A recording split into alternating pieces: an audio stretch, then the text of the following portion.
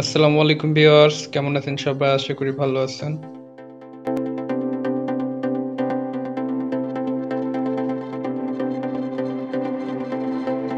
আজকে কি বানাবো বলো? সিঙ্গারা বানাবো।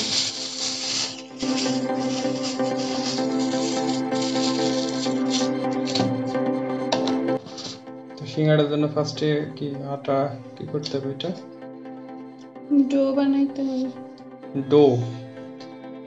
হ্যাঁ ডো করোনাকালীন সময় বাসাতে বেশি থাকা হচ্ছে আর মাঝে মাঝে এটা ওটা খাওয়া হচ্ছে। তো আজকে সিঙ্গাড়া খাওয়াবো নাকি? হ্যাঁ সিঙ্গারা বানাবো। তো আপনারা বাসায় বসে না থেকে হ্যাঁ এটা ওটা বানায় খেয়ে ফেলতে পারেন কারণ একটা কথা আছে না নেই কাজ তো খইবাজ ব্যাপারটা সেরকম। তুমি কিছু বলো।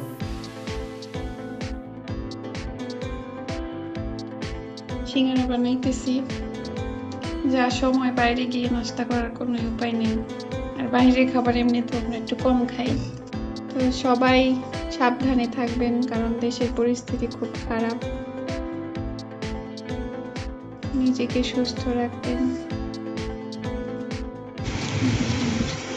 আজকে আমরা সিঙ্গারা বানাচ্ছি। তো সিঙ্গারা কীভাবে বানাইতে হয় এটার রেসিপি আমরা এর আগেও শেয়ার করেছি। আপনারা চাইলে দেখে নিতে পারেন।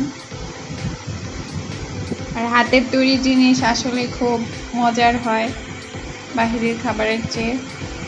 সব সময় চেষ্টা করবেন নিজের বাসায় তৈরি করে খেতে, তাহলে সেই খাবারটা স্বাস্থ্যকর হবে, আপনার শরীরের জন্য ভালো হবে। ওই দিনের কথা চিন্তা করে তো আমার এখন জিভে জল আসছে যে ওই দিন কি মজার হয়েছিল সিঙ্গাড়াটা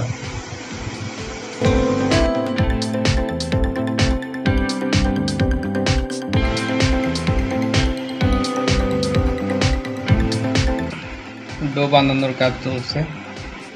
এটা কি আসলে ডো নাকি? হ্যাঁ।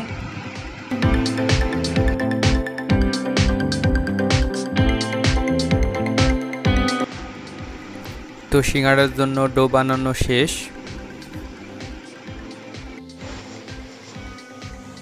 আজকে কিন্তু বেশি করে সিঙ্গাড়া বানাবো বুঝছ? ওদের কিন্তু কম পড়ছে আমার। ঠিক আছে দেখব কয়টা খাইতে পারো।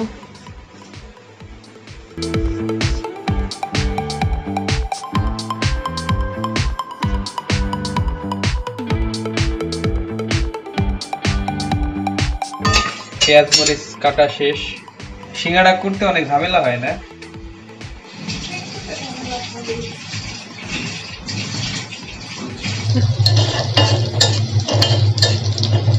মাকে সুন্দর একটা গ্রান আছে কি বাস পড়ো জিরার কতটা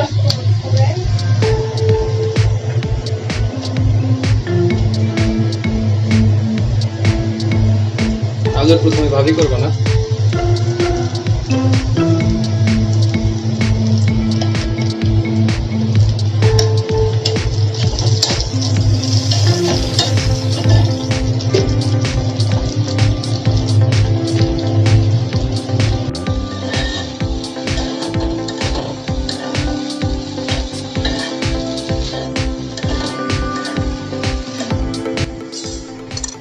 সিঙ্গারার জন্য আলু প্রস্তুত।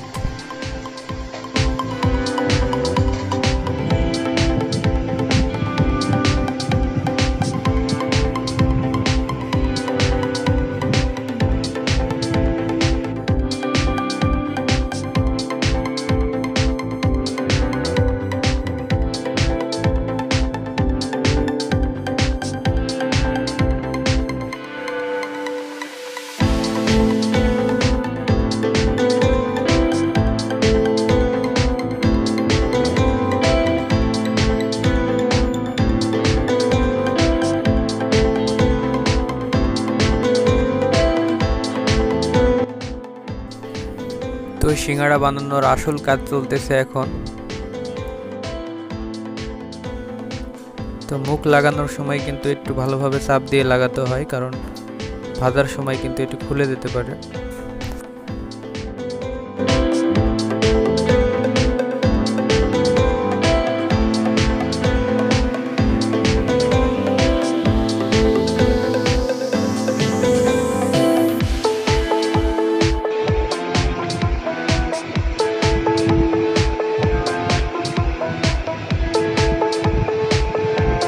সিঙ্গাড়া যে সাইজ তাহলে তো আমি একাই চল্লিশ টাকা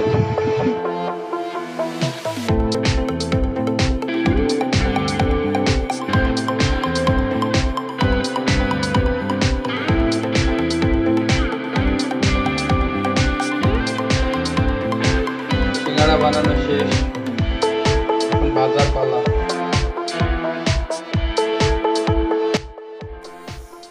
তো ভাজার পূর্বে লক্ষ্য রাখতে হবে তেলটা যেন ভালোভাবে গরম হয়।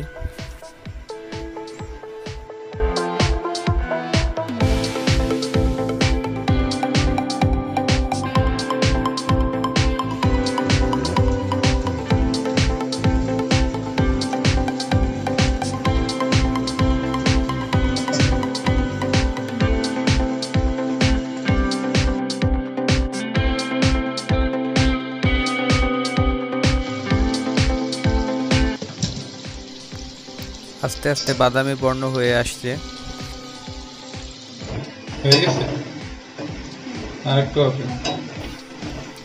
হয়ে গেছে? এখন নামানোর পালা।